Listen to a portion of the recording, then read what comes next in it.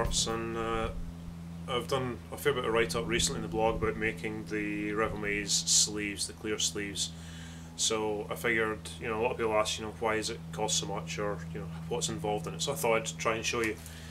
So the first step is to end up getting ourselves um, a cylinder of Perspex like that. Um, the way I get the Perspex is in blocks like this as you can see not particularly round so let's go ahead and get started and we'll get this set up. So first off I need to mark the centre on both um, top and bottom of the piece. And I'm just using uh, a 45 degree angle doing this by hand. It's probably good enough. Um, and then I'll go and actually put a small pilot hole, I'll drill a small pilot hole into the very centre. Uh, the Perspex is, or acrylic I guess, as uh, most people are used to, is remarkably tough stuff. Um, and it's actually incredibly difficult to get into. What I'm going to use is, I'm going to put it between live centres. So if I find my centres down here somewhere. So I've got a, a drive centre um, which is going to go into the, the headstock of the lathe and then just a, a freewheeling tailstock uh, that's going to go in here. Drive that together and turn the thing round. Um, so I'm going to go ahead and do that. Um, it is California, I am standing outside, the sun is glorious, but I am wearing uh, long sleeves and that's purely because the acrylic seems to react rather badly with me. So there you go. Um, I'm going to stop talking and I'm going to shift this into a time lapse because you don't really want to sit and watch me do this and I'll come back and talk to you again once we've got some of these round. Okay, so we're near enough ready. I'm going to drop the last of these and we'll get this mounted in centre.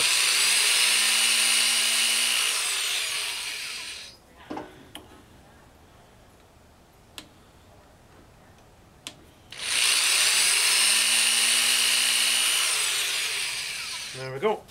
Let's get this out of the way.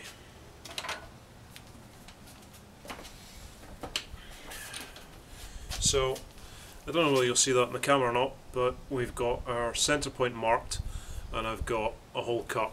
Um, so the only other thing I need to do is, these all come with protective centres, so we need to take that off. It's not much use to us uh, on the lathe.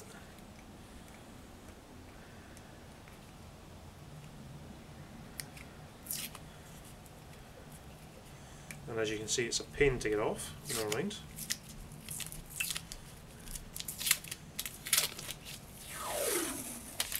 So we start with is this amazingly clear Perspex block and we're going to end up with it as a rather um, opaque surface once we've got it turned and the idea is to get it back to this sort of quality so that's what we're going to do. So let's move these out of the way.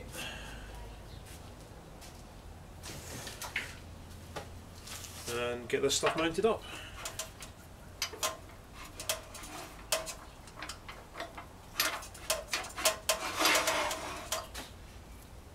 Um,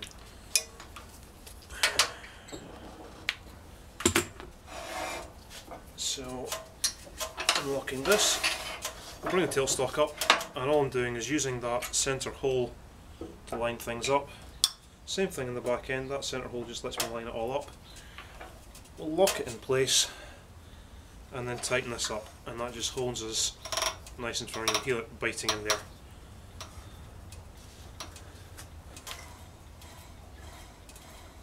So, get our tool rest on, get everything lined up and we're about ready to go.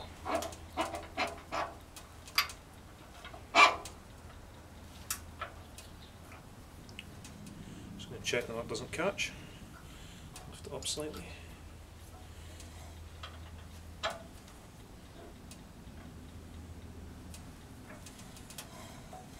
We're about ready to go, so I'm going to get my safety gear on and we'll get started.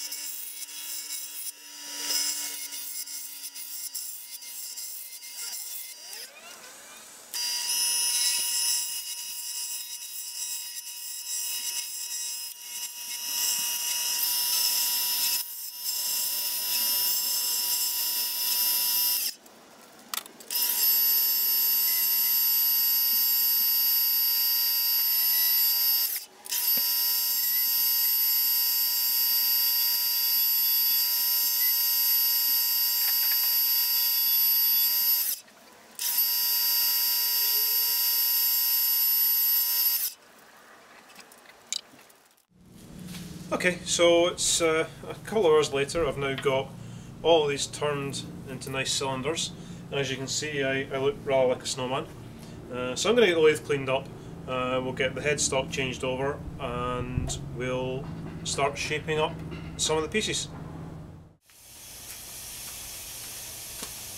Okay, so as you can see, I've tidied up a bit, um, wiped all the lathe down, cleaned up all my shavings and we've changed over the headstock so rather than just being a drive centre I actually have a four jaw chuck in here and we're going to use that to hold the workpiece. Um, the reason we do that is that I'm going to turn these to shape and then I'm going to have to bore the centre out of them. In order to bore the centre out of them um, I need this to be held just with a one end because I'm going to put a drill bit in here and drive it through so we change it over to that. So we'll go ahead and get set up and uh, we'll start shaping these.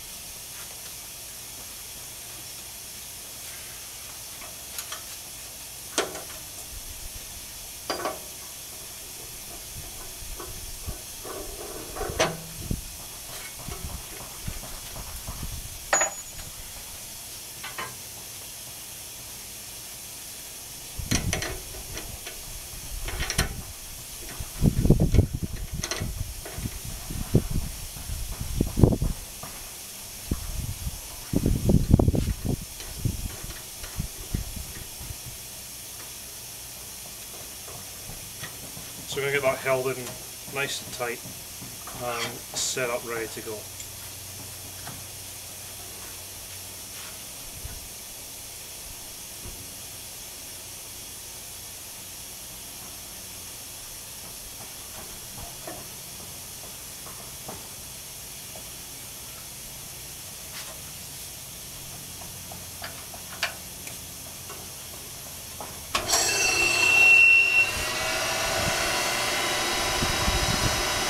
So we are all ready to go. So I'm going to go ahead and just clean this up and uh, we'll start getting it shaped.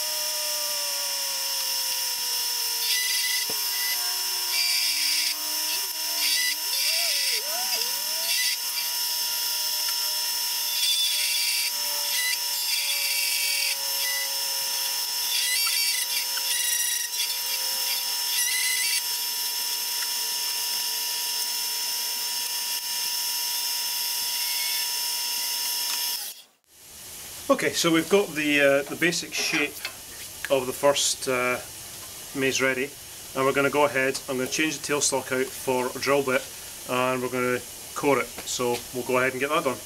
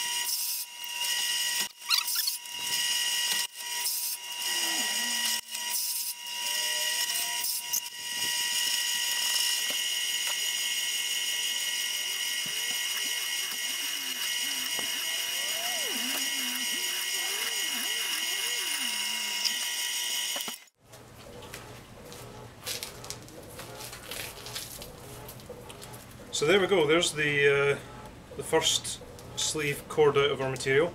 We've got our, our hole through the centre.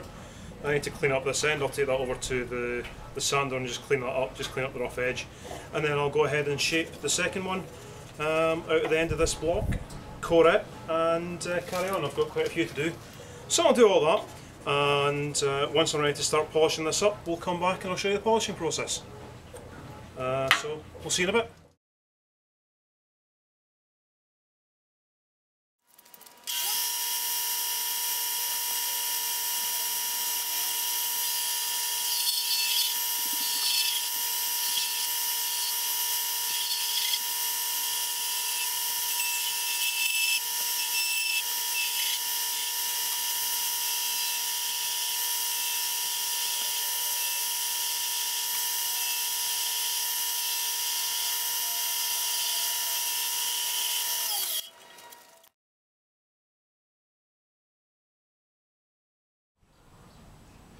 Hey, welcome back. Um, while you've been away, I've changed over the, the jaws of the chuck. We're actually going to have to use a slightly different set of jaws uh, in order to hold the pieces. I can no longer uh, clamp round the outside of the piece and I need to actually clamp on the inside. So I've changed the jaws over um, and I've got all my sandpaper here ready to go. You'll notice as well I've got the lathe bed covered. Um, effectively I'm going to be working with a lot of water and I don't really want to damage the lathe bed, so uh, hence the towels. So I'll stop talking, I'll zoom in on what I'm doing, and we'll get one of these polished up and let you see how it all goes together. This does take about as long as all the previous steps put together, so uh, I will accelerate it, but expect this to be the longer part of the video.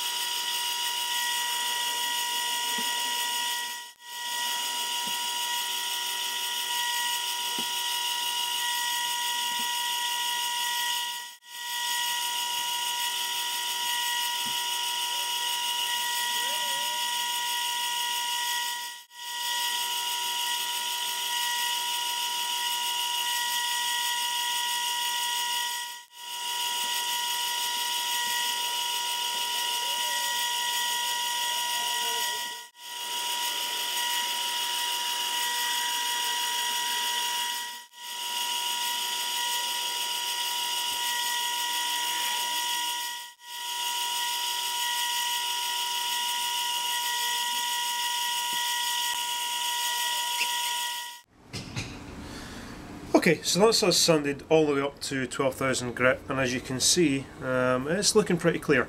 So I need to take this off, flip it to the other end, and uh, sand the other end. So I'll do that. I'm not going to record it because it's exactly the same as you've already seen. Then we'll come back and finish up the polishing process. Okay, so as you can see, I've uh, finished up uh, the other end, so we've got a nice clear sleeve, but we're not quite finished yet. I need to go ahead and put the polish on it. So I'm going to polish it up and then we'll head over to the drill press, get it drilled up and it'll be ready to go. So uh, let me go ahead and do that.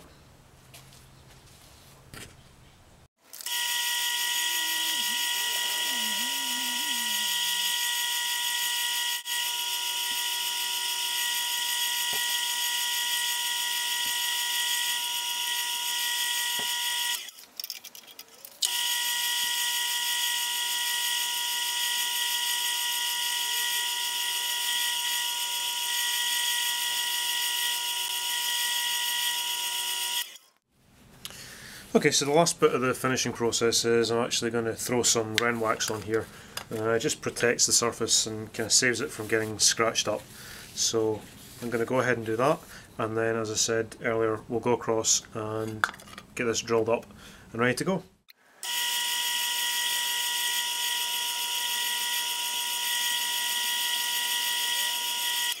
And that's it done, ready to be drilled out.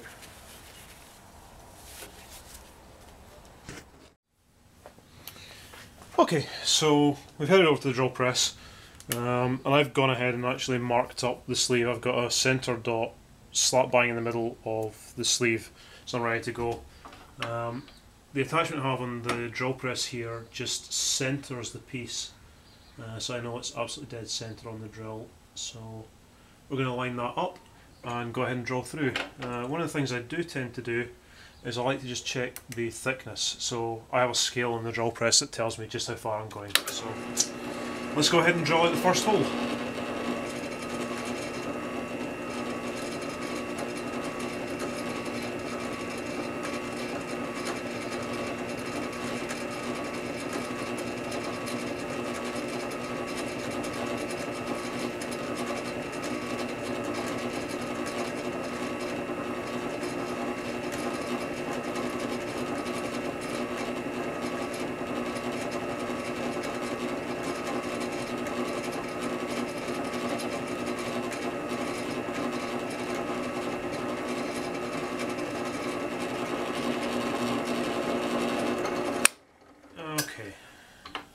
So that's us through for the first hole.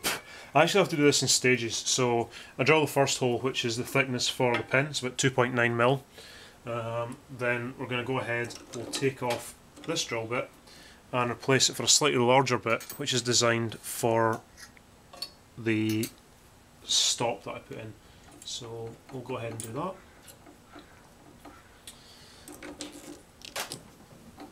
that. Now this time uh, I need to line everything up uh, so that I get a perfectly straight hole. This can take a little bit. There we go. And I need to set my gauge. Now I need to drill exactly 3.7 millimeters, uh, which is the depth for my screw. So we'll go ahead and do that.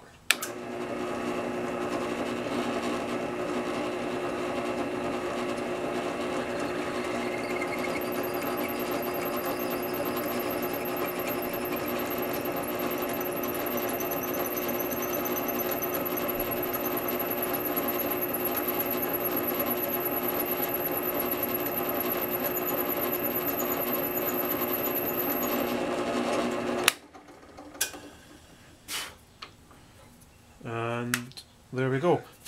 That's us got our two holes and ready to go and tap it. So we'll go and do that. Okay, so the last stage is to put the tap on it, so we're going to go ahead and do that. This has got to be done by hand and is a little bit delicate. If I get this wrong then I've just wasted several hours of work. So far I've managed not to kill one. Famous last words he says. uh, so we're just going ahead and putting the thread into the acrylic. The acrylic is remarkably strong. Um, it takes a thread rather easily. So just carefully remove this now.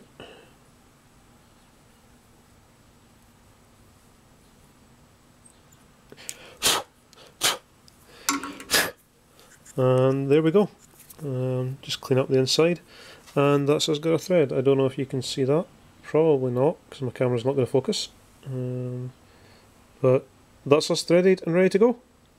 So there you go, one clear sleeve, um, start to finish. All I need to do is put the um, the cap on there, and I'm done. Well, I hope you enjoyed it. Uh, I hope this has been useful and let you see just what goes into making one of these. And uh, I'll see you soon in Puzzling Parts. Thanks for watching.